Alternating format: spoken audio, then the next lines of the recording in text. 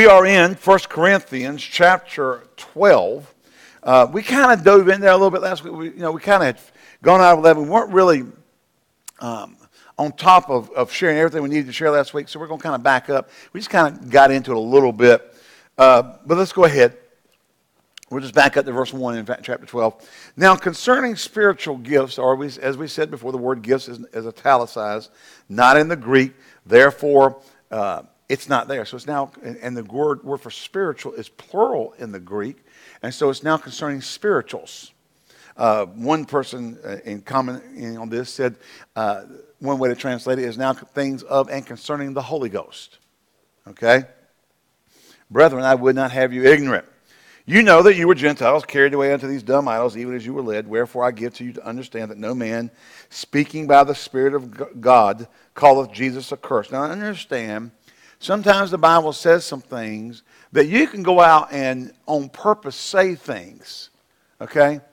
Um, there are people who say, Well, I, I, I'm confess Jesus is Lord. And they don't really mean it from their heart. Now, the Bible teaches us very clearly in Romans chapter 10 and also over in uh, Mark 11 that what you say with your mouth has to be agreed upon within your heart in order for it to be effective or to be what you really mean.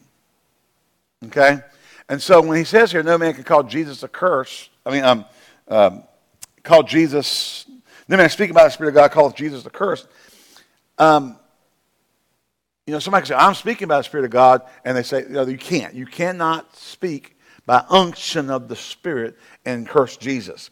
And no man can say that Jesus is Lord but by the Holy Ghost. So that doesn't mean there's somebody that's possessed with devils goes, Jesus is Lord.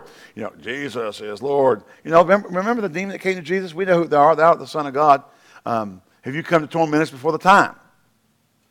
Well, they weren't speaking by the Holy Ghost. Okay? And, and so what he's saying here is you can't confess Jesus the, as the lordship of your life without the unction and inspiration of the Spirit confirming with your heart. Okay. Then he goes on here and starts, he says, Now there are different uh, diversities of gifts, but the same Spirit. You know, there's different endowments by God. Now, not, listen, this doesn't, this is not limited simply to the, what we refer to as the nine gifts of the Spirit. You know, it's whatever, you know, it can refer to apostles, prophets, you know, ministry gifts. It can, it can refer to uh, other giftings that God has for you. Uh, so there are, this is, this is uh, one person said this, this chapter deals with the, um, the differences of gifts in the church. The next chapter deals with the spirit by which they operate. And then the 14th chapter deals with the way they're to operate in the church. So this, this lays out that there are differences or diversities of gifts. Chapter 13 deals with the Spirit, which is love, in which those are to manifest and operate. You know, sometimes we take the love chapter and make it, you know, we, we kind of live in a way that it's not really the way it was intended. You know, we can't judge anything. We can't, you know, you know, love believes the best of every person. That's really not what the Greek says. It really insinuates love wants to believe the best. If some guy's standing with a shotgun trying to blow your head off, uh, you can't go, I really don't believe he wants to do that or he just blew your kid's head off or something. He really didn't mean to do that. You know, that's, that's foolish, you know. And oh, I'm not going to do anything. Yes, I am. Hello? The Amplified says it real well. Love is ever ready to believe the best of every person. In other words, its first response is not the negative or unbelief or criticism or judgment. It wants to believe good. All right? But sometimes there's no good to believe. Hello? All right. So there, there are differences, or diversities of gift, but the same Spirit. There are differences of administrations. Now, the margin says, and, and the Greek bears it out, that this word administration means ministries. There are different ministries in the body of Christ, and there's different. Some people get upset when you say there's different levels of anointing on ministries. All right? Um, not everybody's called to be a Reinhard Bonnke. We're all called to evangelize, but you're not all called to be Reinhard Bonnke. You might be evangelizing to 30 people at a time instead of a million. Okay? It's not a slam and a slight that you're not called. It's the way it was the anointing that was given. And here's the problem when people try to emulate or copy someone else's anointing simply because they want to be like them. Hello? You get into trouble. Instead of staying with your calling and your anointing. There are differences of administrations or different ministries. We do know that there are apostles, prophets, evangelists, pastors, and teachers in the body of Christ. There are different ministries in the body of Christ. And we have to, re- and in recognizing that, we have to walk in the light of it. And if we are one of the ones that has a different level or a different calling, then we walk in it. Amen. so there are different ministries. The same Lord. There are diversities of operation. Now, this is interesting. The word operation here comes from a Greek that means miracles. Or there are different, uh, there are diversities of applications of God's power. Now, um, when we get into the gifts of healings, we'll talk about this some more. But you'll see in certain ministries, there, there's different anointings even in certain ministries. Now, we have, and, and we've, we just, I've really come to understand this as of late, just kind of dawned on me one day. And I'm sitting around going, you know, well, we lay hands on people in church all the time, and we don't nearly see the results that we do from prayer cloths. I don't know why, except there are differences of, of miracle powers or differences of, of way that that has been given out by the Holy Ghost. You know, you go study Brother uh, uh, Branham, you brother study Brother Hagin, you study different ministries who had healing anointings, and they had different ways that those things happened. Yeah, some people have miracle anointings where the things just grew that weren't there you know, eyeballs, uh, you know, different, different types of anointings. And, and, so there are differences or diversities of operations or miracle powers. But listen, it's the same God that works all in all. So if God anoints this one to, to have a, a, a ministry along this line that's a miracle ministry, and you go back and study your prophets, not all the prophets had the same type of anointing. Elijah had one. Elisha asked for a double portion and was promised that if he saw him go up, he would.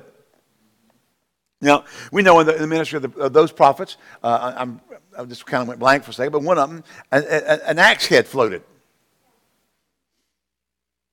When you study Elijah, or Elisha, you find out he did 13 miracles in his ministry that are recorded. Elijah did seven, except that after Elijah died, Elisha died, somebody, uh, they were in a battle, and they threw some young man who got killed in the battle into his sepulcher. He rolled down, fell against his bones, got raised from the dead. So the 14th happened posthumously. Hallelujah. Wow, there's so much anointing left in those bones that it, it, it fulfilled the promise of God that you would work uh, a double portion. Now, and so, but the manifestation of the Spirit. Now, he says, he goes here and tells us that there, there are different, different types of gifts. There are different types of ministries. There's different ways uh, that God's power is manifested or given. Then he comes and says, but the manifestation of the Spirit is given to every man to profit withal. In other words, however God manifests these different things in people's lives, therefore the purpose of profiting with all. God wants to bring profit and blessing and help to people in need. Can somebody say amen? Then he comes and starts and goes, For to, to one is given by the Spirit. You can't give it to yourself. Now, we might notice a uh, pattern of an anointing working or a gift working in your life, but you can't give it to yourself and you can't make it happen unless the Lord specifically told you something. If you go back and study uh, Dad Hagin's ministry, I remember when Jesus appeared to him and said he laid the right, the, the, the, the right finger of his hand to the palm of his right hand, and he said, I've given unto thee a special anointing to, to heal the sick. And he says, Now, you, you, you tell the people, you tell them that I appeared to you. You tell them that I took the right, my right finger and laid it in the palm of your ha- right hand and said that I gave you a special anointing. You tell them that, and, and, and when you tell them that, it'll stir up faith in them, and, and, they'll, and then when you lay hands on them, they'll receive and act on that. Amen? And, he would tell you, he'd be talking about that sometime. He'd say, as soon as I start telling you that, that Jesus appeared to me, my hands started to burn and begin to minister to the sick. Hallelujah. Well, that's why Jesus, see, Jesus told him to do it a certain way. Now, he told him to tell the people that. Notice, now if you'll study Brother Hagin's ministry, he never laid hands on himself until that time that he was really sick. And he was believing, confessing, declaring. He had just told Sister Oretha, he said, You're going to, to go call Dr. So and so. I'm sick as a horse. He said, You know what that means? That's sick big. Hallelujah. And he's laying there and he said, Lord, I've missed it somewhere. And you can't miss it. I know I've missed it somewhere. He said, he said, Didn't I tell you that I've anointed you? He said, Lay your hands on yourself and it'll work for you just like it does for other people. Up until that time, we had no record. And even in his own life, he said, said that he ever laid his hands on himself. The Lord had to instruct him in that path. Hallelujah. And he did. He got, he got healed. Praise God. Amen. So, let's get into these different gifts here. He says, for one, we, we could call these manifestations. We can call them gifts. You know, the word gift coming from the Greek, um, uh, charis, gifting. Amen. And, um, or charismata. I'm sorry. Hallelujah. And meaning gifting, he's got gifts. We have gifts or manifestations. These are gifts or manifestations of the Spirit. Now, when we say gifts, they are gifts to the church. They are not a gift to you. Understand that. You do not get to go, I've got this. Because even if you got it, it doesn't manifest unless the Spirit wills. Hello. We trust the Holy Ghost. We, we trust to be led by the Spirit. But you know, there's been times I've went to go to minister to people and there's no anointing. Well, what do you do? The Bible tells me I can lay hands on the sick and they'll recover, but it's not that manifestation. It's a different thing. So what do we do? We just we what we operate in what the Word of God promises us. But unless he, the Holy Ghost tells us that, you know, or when, you know, as you learn to walk with Him, learn His voice, learn to understand and know the recognize the presence of His anointing, you can you can you can in maturity go and, and, and know that things are manifested manifested. Hallelujah. So to one is given by the Spirit. How's it given by? The Spirit. The word of wisdom. Now, and then another, the word of knowledge by the same Spirit. So we have here, first of all, the word of wisdom. What's, what is the word of wisdom? Well, um, I, like, I love the way Dad Hagin you know, explained these. He said it is, it is a um, God giving you part of the, of the wisdom of God in, in relation to future events or in, in counsel on how to operate for things coming in the future. God gives you a word. Oftentimes, now we, ha- we have here, and I'm going to just go ahead and read all these. This given the word of wisdom, another by the word of knowledge by the same Spirit, another faith, or as the Amplified Bible says, special faith by the same Spirit, to another gifts of healing. If you read the end of this chapter, it says gifts of healings. So we know that it should be gifts of healings. Um, by the same Spirit, to another working of miracles, to another prophecy, to another discerning of spirits, to another divers kinds of tongues. Uh, it's really kinds of tongues.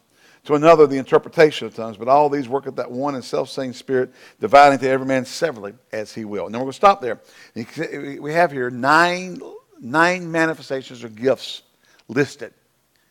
Then we can categorize them into three separate categories vocal, revelation, amen, and power. Well, vocal gets real easy tongues, interpretation of tongues, and prophecy. Revelation, word of wisdom, word of knowledge, and discerning of spirits. And the power is the gifts of healings, working of miracles, and um, special faith. All right? Now, they're not, they're not listed in those three, but that's, that's how you could categorize them. And so the word of wisdom you know, God, one person described God as sitting at the center of a spoke wheel. And he can look up here and see the, the present. He can look a couple spokes over and see the future. He can look a couple spokes back and see the past. Okay? Because why? There's no time in the spirit. All right? It's, you know, time is basically, you know, the, the, the time, we, how we know time doesn't exist in the spirit. Days is a thousand years, and a thousand years is a day with the Lord. Hallelujah. And so God knows what's going to happen. Now, here, here is something we can just kind of uh, drift off just a little bit. Because there's a lot of people who believe in election. You know, that God, and they, but they mean it in this way. In a Calvinistic way, that, you know, God elected Karen to get saved. Karen's going to get saved no matter what. God's chosen Karen to get saved. Therefore, He's made everything happen that's going to cause her to get saved. I believe in election based on foreknowledge. And I believe the Bible bears that out. For whom he did foreknow, he did predestine to be conformed to the image of his son. So my, my view of election, so if you take all the scriptures of election and put them with for whom he foreknow, he did predestined to be conformed to the image of his son. Now election becomes based on foreknowledge. God saw Karen get saved, come to the place where she accepted Jesus as Lord. Therefore, he predestined her to be conformed to his image. He can do that. Well, I don't believe that. What didn't John the Baptist say of Jesus? What did he say about him? Behold the Lamb of God, what? Slain from the foundation of the earth. God saw man fall, predestined Jesus to take his place. So thousands of years before he ever went to the cross, he was already predestined to die on the cross. After he saw the fall. So he already made provision from the foundation. Before, the, before Adam was ever created, Jesus had already been predestined to take his place in substitution. Well, if he did that with Jesus, he did that with you. You're born again, you weren't it wasn't some God made you get saved and he just decided that Jeff is going to get saved. Now, Jeff's brother's going to hell. That's just the way it is. That's not how it's designed. That's misinterpretation. Okay? Foreknowledge. And so God knows things coming in the future. And therefore, the word of wisdom is available for God to give you counsel and wisdom and instruction concerning things to come so that you can so that you can act in a way that will cause you to walk through that blessed and unscathed. Amen. As I was about to say earlier, that the, the gifts of the Spirit, particularly the verbal gifts or the vocal gifts, work in conjunction usually with like prophecy. So someone's ministering, many most of the time the word of wisdom or the word of knowledge will operate within the realm of prophecy. Now, you don't have to have a word of wisdom or a word of knowledge to prophesy. But usually they work in tandem together. Okay? So you can have the word of wisdom, the word of knowledge without, with prophecy, but you can have prophecy without those things being a manifestation. Lord can just say, I love you. It can, it can be, you can be inspired by the Holy Ghost to just walk up and comfort somebody by the Spirit and speak by sudden divine inspiration of God. Prophecy does not always mean a foretelling of future events. It can mean to foretell, to speak by unction of the Holy Ghost. And say something that somebody has already said before. But it's by unction by the Holy Ghost. I was counseling somebody one time, and um, they kept telling me, I know that, I know that. And I just stopped. I finally got tired of hearing that. And I don't mean in a bad way. I just, you know, it's like, okay, you're, you're missing this because your head's going, I've already heard that. I stopped and said, Let me tell you something. I'm not speaking to you out of my mind.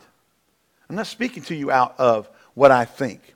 I'm speaking to you by the inspiration and the unction of the Holy Ghost. So what I say is anointed. Your friends may have said something, but I'm speaking by the unction of the Holy Ghost. Carries a different weight. Amen. Glory to God. And so somebody might walk up to you and say, you know, you're, you're, God wants to bless you, Karen. And I just kind of go over and but I come by you, and, and all of a sudden the Holy Ghost unctions me, and I look at her and say, God wants to bless you, Karen. Hallelujah. And she recognizes the anointing and receives that. And the other person was just as sincere, but there was it wasn't prophecy. They were just trying to encourage her. But it comes by the Holy Ghost Woo! Glory to God. Changes everything. Can somebody shout glory? glory. Hallelujah.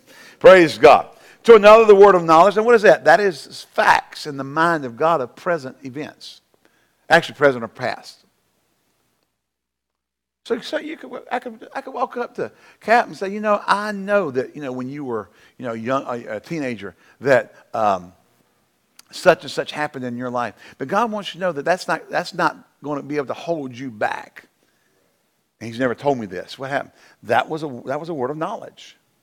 God's ministering to him supernaturally through a vessel who's unaware of what took place. That's a word of knowledge. God knows about it. Amen. Now listen. Watch out for the people who stand up start telling you your address and your telephone number and what street you live on, you know, and how much money's in your bank account and you're supposed to give all of it. You know, you got $3,475 in your bank account and the Lord just showed me that's what you're supposed to give tonight. that's, that's, that's not word of knowledge. That is a familiar spirit operating and, and using a supernatural manifestation to, to harm you. I saw, I mean, there was a number of years ago, there was a particular television network that had this guy on there all the time, he'd just tell people where they lived, what their address was, you know, what age their child was, and it just went one after the other, one after the other, one after the other, night after night. And just something didn't sit right. Well, you and find the guy was a homosexual. Well, he won't operate in the Holy Ghost. I can tell you that. I didn't call any network, I didn't call any names, and I didn't tell you what time era it was in. We're not out to hurt people, but people were all going just oodling and, gooing and throwing money. They kept throwing money because when people get touched supernaturally, this is why ministers have to be careful. You have to keep your heart right because God will judge you for abusing His people. I, I don't believe God will judge me. I don't care. You, you could be all, under all the grace you want, but shall we continue in sin that grace may abound? God forbid. You can't abuse God's people. Hello? And expect God just to turn the other way and let you keep doing it. Amen. So we have to be careful about these things. Ministers, you got to keep your heart right. You can't get greedy after filthy lucre. You can't begin to use things in the spirit to get people to give you money. It's, one thing to say, hey, we have a need you give. It's another thing for me to work a miracle or have a miracle manifest or a supernatural event take place. And then me go, whoa, it's a good time to take up an offering. What's happened? The people are wide open. They're excited about that, you know, something supernatural took place.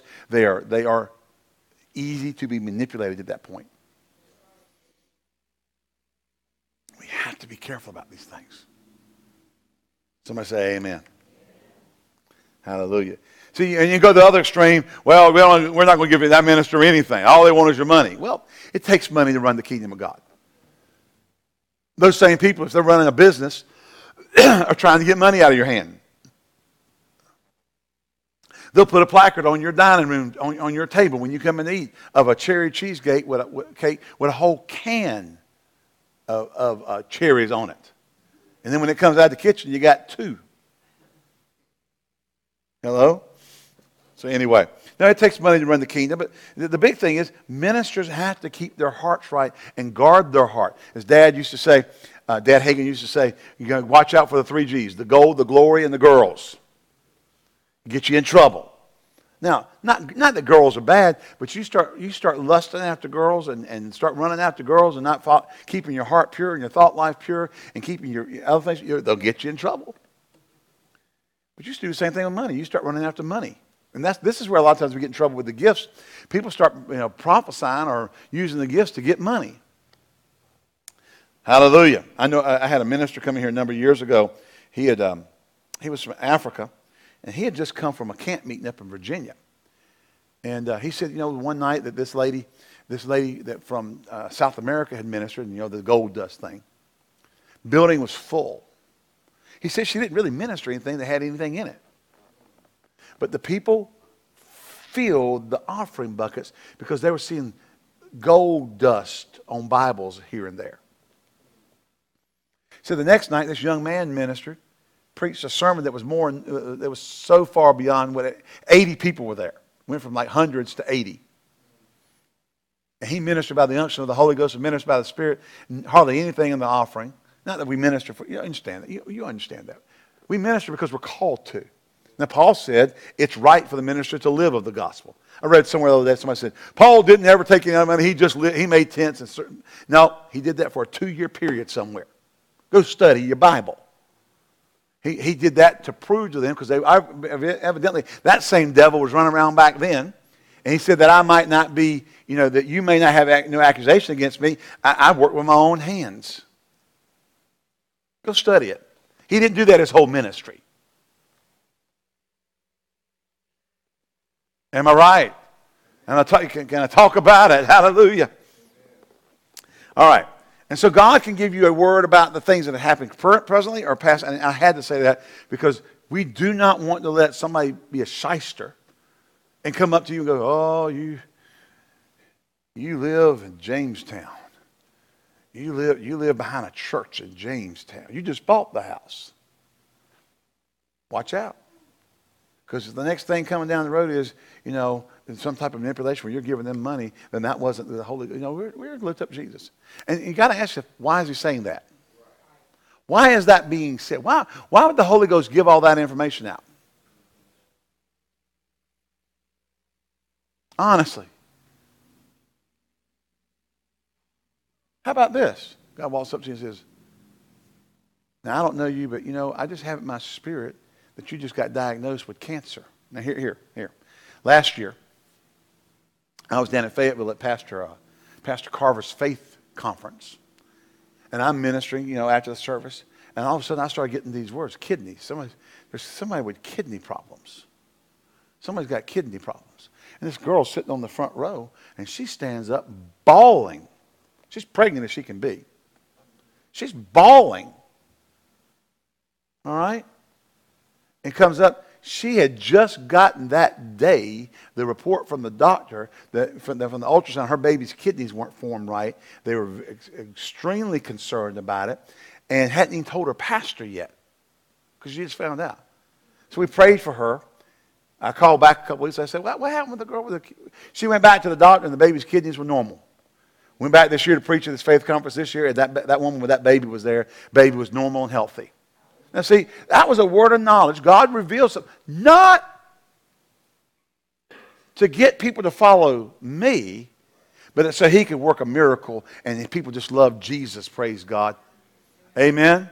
And here's that baby just, just I, I, actually, when I got to the church this year, I was in, I was sitting, talking to Sister Paula, and, and I said, now that, that woman with the baby with the kids, she's, and she said, she's right there. They were right there. They were right, had gotten to church and, and right there holding the baby. So there's, she said, "There's the baby right there." Glory to God. I said, "Glory to God." Amen. Hallelujah.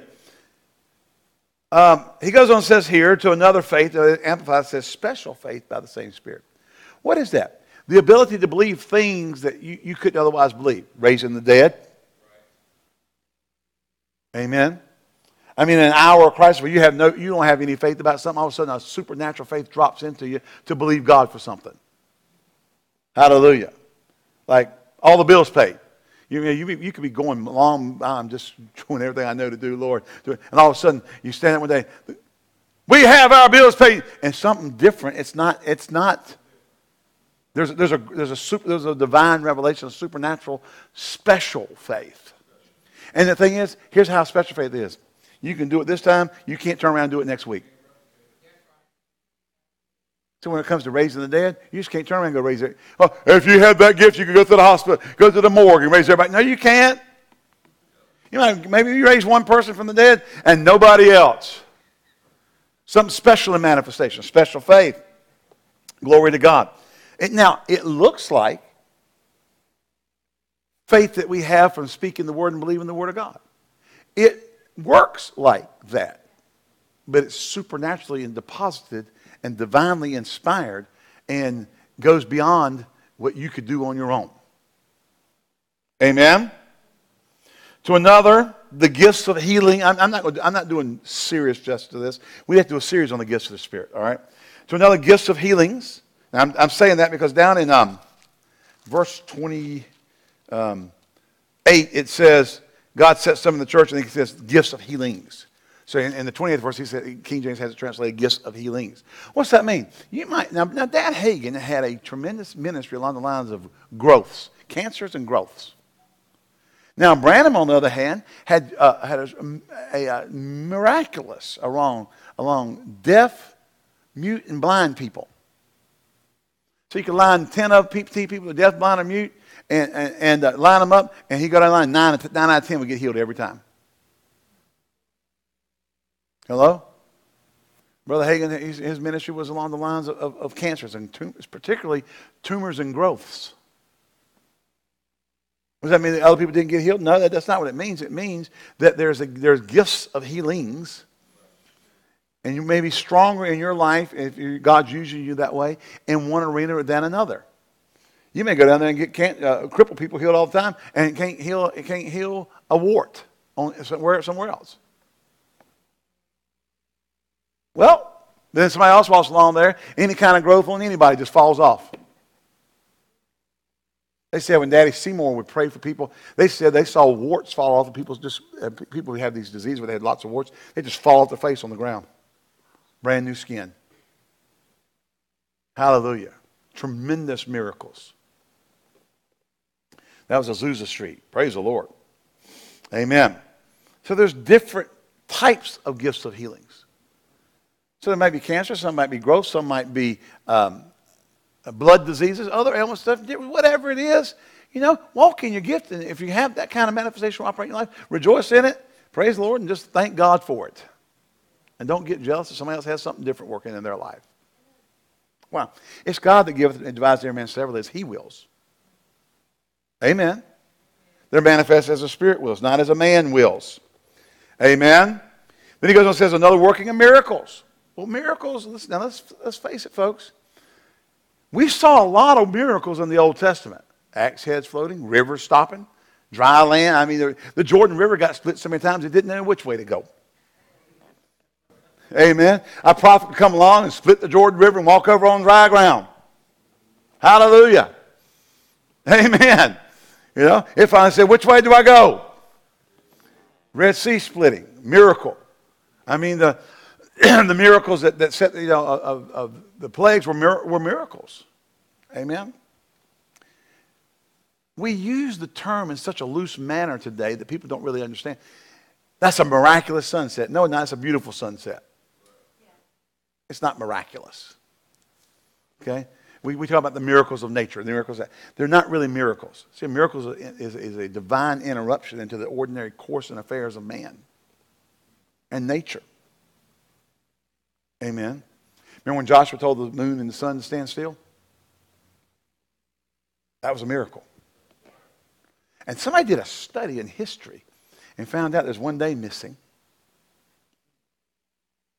And we know where it was. Hallelujah. Glory to God. So, to another prophecy, people who speak by, divi- by divine inspiration, you can speak and preach by prophecy. But every time you preach is not prophecy, but you can be unction. I mean, I, will have it happen. You know, I, and when I'm out of this church, the preaching anointing comes more often. When we were a younger church, it was here more often because we were a young church. Now, you know, and, and I, I, don't, I don't doubt that if, if we have a great influx of young believers, that that would be more of that manifestation of that anointing. Okay, but you know, we, we teach more now, not because I like teaching more, I'd rather preach. But you got to go with the flow. You got to go with what anointing is manifest. And so a lot of times when people get to preaching, they're, they're beginning to speak by sudden inspiration of God and prophesy. They're really prophesying. Speaking unto men the edification. He that prophesieth, you know, edifieth. Speaks unto men the edification. So we can speak by sudden inspiration. Dad Hagin used to talk about that, you know, many evangelists preach by prophecy. Hallelujah. To another, discerning of spirits. That means you have a divine revelation or actually see into the spirit realm. If you see into the spirit realm, you're operating in discerning of spirits. But you can uh, have a divine revelation that there's a manifestation of a demon spirit in something. All right? Now, that can also be in conjunction with the word of knowledge. But the Holy Ghost can also have you discern what spirit is in manifestation. Amen. That's not the Holy Ghost. That's not the right spirit in manifestation. That's not the Spirit of God. Um, I've heard people talk about, you know, that you know ministers one night they, they take and they throw water on, you know, they get a word from God, throw water on them, he heals, and they all get healed. Next night he tries to replicate it and goes out there and does it, they all get wet.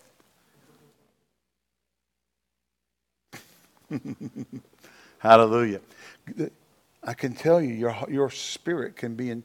And, and me, people who base their ministry on a gift are susceptible by being used by the wrong spirit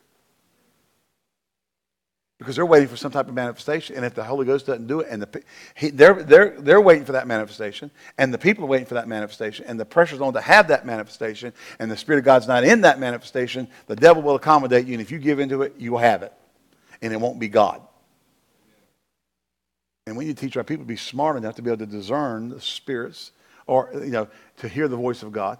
And if the, that, that spirit, if that's in manifestation, the discerning spirits, yield to that and listen to that. That's not God in there. To another diverse kinds. Diverse is not in the Greek, so it's kinds of tongues. Now, this is, if you study this out a little bit better, you'll find out um, this is ministry with tongues. It's not praying in the Spirit. He that prayeth in an unknown tongue edifieth himself. Amen. Speaks divine secrets with God, chapter 14. But they can have a ministry of tongues and interpretation of tongues, which is equivalent to prophecy, by the way. When there's tongues and interpretation of tongues, it'll be equivalent to prophecy and manifestation. Two nickels or a dime. Who cares? It's still 10 cent. Amen? If you went into a store and something was 20 cent and you had two dimes, or if you put out four quarters, that cashier does not care. They will take the four, I mean, four quarters, the four nickels just as fast as they'll take the two dimes. They don't care. So prophecy is equivalent to tongues and interpretation of tongues. And they can be manifested in different ways. They can be, they can be all kinds of languages. God can speak in a language known to someone there. I had that happen before. Not often, but I've had it happen before. I was in the Czech Republic, and uh, we had gypsies there. Now, and that's not a derogatory term, they were gypsies. They tell you they were gypsies. They, and gypsies travel all over Eastern Europe, particularly Eastern Europe, all over Eastern Europe. They have their own language, okay? And they usually speak a local language. And so these gypsies were there, and, um, you know, in, in, the, in, the, in the thing, and actually they, they didn't, this, this, this another lady there, I'm sorry. I, was, I, was, I just kind of remember the Czech Republic, remember the gypsies. Hallelujah. They were crazy. They, they, they, get, they get right in with you. You preach wild, they get wild. But I was up there at, the end of one of the services. I got just, we're just kind of praying, and I got over to speaking in tongues and praying out in tongues. And this woman came up to the to to um, um, Larry Keaton, overseer there, Larry and Angela, and um, but they came up to uh, Brother Larry and said said and started talking to him, and said because they spoke in English, and they said I said he was praying in Czech. Uh, I didn't know I was praying in Czech. And they said, he said, really? She said, yeah, he's praying in Czech. What was he saying? He says, I see it. I see it. It's on the horizon. It's almost here. I see it. I see. I kept saying that over and over. I see it. It's on the horizon. It's almost here. And remember, things, spiritual things are not the same as natural things. This was 93, 94. But I was praying out in Czech. And she understood it. It was a, it was, it was divine revelation. So that was a sign to her. I'm speaking by the Holy Ghost. See, this is a manifestation of diverse tongues or kinds of tongues. This is not your private prayer life. I was speaking things out by the unction of the Holy Ghost, and she was understanding it. Hello? We've had all kinds of things like that happen where people come in and they speak a foreign language, and, and all of a sudden the, minister get over into the spirit and speak to them. One guy was a Jew, came into the service one time, knew Jew, knew, knew, knew Hebrew, and knew Greek. And the minister began to pray and began to pray in Hebrew, and then turned around and prayed in Greek and, and gave him the plan of salvation right there in those two languages. Hallelujah. That shook him up. Amen. Hallelujah and to another the interpretation of tongues. What is that? Interpretation, not translation. Have you ever heard somebody speak in tongues and then, the, the, then when somebody begins to interpret, it's not the same length and time? And you're kind of going, there's got to be more because they spoke in tongues for five minutes. He spoke and interpreted or interpretation tongues in, in two and a half. No. Now, you know this. You know, eh, have you ever heard somebody try to take an English, say something in English, and then you turn around and say it in Spanish? I'm glad you're here tonight. You're like, how long does it take? I'm glad you're here tonight to be said in Spanish. You know? Um, so, so but what it is, is interpretation is not translation. When I'm, uh, when I'm preaching in Bible schools overseas, I'll, sometimes you use a colloquial. Happen a pig and slop. They have, to, they have to hear that, know that they have to use a, a colloquial expression in their language to say because they translate it pig and happen and pig and slop, everybody's going to be going like this. And they did. So we turned around and interpreted. She said, We don't use that expression. what do you say when you're really happy? And she said, You know, what, what, what kind of colloquial expression do you use? Use that to say pig, happen to pig and slop. And she did, and they all, they all got it. Remember my first time in Estonia, uh, Estima, back in, back in 90, uh, 92, somewhere in that era, 92. Um, they had three people that did the interpreting, and they spoke, also, obviously, all spoke English, and they spoke Estonian because they were Estonian. And they'd be going along. If one of them didn't do it right, the other two would stop them. And they'd all have this, this, this conversation in Estonian. Now the whole class hears what they're saying, yesterday. so they're all listening in, kind of like this, waiting to get, you know, to get the gist of what they were trying to say, and they all get done, and they look over and say, "It's okay, we got it." What did you get? You know, I have no idea what y'all just did. Hallelujah. Well, interpretation of tongues is not translation of tongues; it is the essence of what was said. Okay, it's not going to be a translation; it's going to be the essence of what was said. We have things like, um, oh Je vous en prie. Loosely translated from French into English, meaning uh, it's my pleasure. But you if, you, if you type in, you know, translate it's my pleasure, it comes out uh, some mon plaisir or something like that. But slang wise, or you can say je vous en prie. Okay? Well, it doesn't, tra- if you translate it raw, it doesn't mean that. Okay? You can say très super. Well, that's, that's, that's now obviously super is English for super. You say très in front of it, and it's, it's, a, it's, a, it's a slang for awesome. But that's not the word for awesome in French. Okay? So, you so if I say awesome, you know, use it in a slang way, and somebody comes along and they go, très super, to interpret that, they've got the essence of it. Okay? And, you know, it comes back very super. If you translate it back in English, that's very super. Well, that's not, you know, you're trying to say awesome or it's out of sight or something like that. We're getting the essence of the meaning and we're interpreting that. Interpretation, that's why get, that's when people do books and they, and they, quote, translating it to another language. They really have to be able to interpret what was said and, and put it into the language that the people they're ter- interpreting it for so that it says the same thing, carries the same meaning, and doesn't lose anything, but it's in a way you, you can't say happier than a, than a um, pig in slop or a pig in sunshine or a BB in a box or something. I don't know. All kinds of things. So we have, we've listed these. Again, we're not doing a real thorough study on this. All these works that one and self-same spirit dividing to every man as he wills. Hallelujah. Oh, we're running a little bit. How many give me 10 minutes? Hallelujah. All right. For as the body is one, it has many members, and all the members of that one body being many are one body, so also is Christ. And we're going to stop right here. Notice that these are all divided, manifested, brought to people's lives as the Spirit wills. You cannot just go, well, God gave me prophecy one day. I mean, we used to, there was a lady that used to be in a church that we, that we, uh, how do you say this? Be nice. But I'm telling you, every service she had to have, uh, you had to say something. She had a word. And I'll be honest with you. Nine times out of ten, when she opened her mouth, you may as well run out in the middle of the, uh, of the winter and jump down a cold shower head. Killed any anointing in the building. She just opened her mouth and it was like, because she wanted to prophesy. You can't prophesy because you want to. You can't work a miracle because you want to. They are, these gifts are, are manifestations, are manifested when and as the Spirit wills they be. Amen. And let me say that if you ever start taking the glory unto yourself when they are, you will not see them working.